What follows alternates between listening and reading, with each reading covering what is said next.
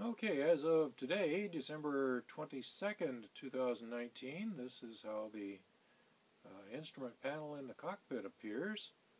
Along the top edge is a push-button switch panel, which basically controls all the lighting, uh, strobe lights, position lights, taxi lights, things like that. There's also a couple of buttons on the right edge for the uh, boost pumps. Have uh, two fuel pumps, dual fuel systems in fact.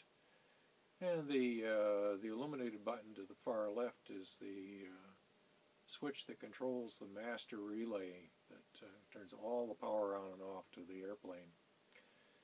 So that real bright screen in the center is a Dynon HDX 1100 display Let's see if we can get it to appreciate that a little bit.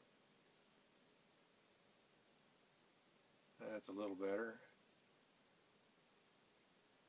Anyway, um, it doesn't like that bright screen. The uh, air vents are in the top left and right corners of the instrument panel. Uh, below the left one there is a rocker switch that turns off either the left ignition system or the right ignition system on the engine to allow you to test and make sure both ignition systems work before you take off. And below that, a key switch. Uh, along the far right edge, uh, below the uh, air vent there, that round black object is a, uh, there's a cover there underneath that, a dual USB uh, port for using an iPad or phone, charging your phone, things like that. To the left of the display are two modules that are new additions. The upper one is the autopilot control panel and the lower one is a auxiliary knob panel using uh, going through menus and things like that to get to certain functions. It allows uh, manually setting the altimeter, not the altimeter, the altitude that you want the autopilot to follow, uh, also setting the barometric pressure, and the bottom knob is the heading that you can set for the autopilot.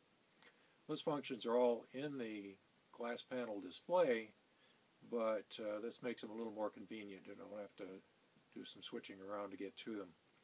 In the uh, in the center is the uh, the little white square there to the right of the main screen is the display and controls for the radio and to the right of it is the uh, intercom. Below those two modules there's a compass that wasn't there before and is now. And below that the existing controls for the nose gear, the landing brake, and down at the bottom of the throttle.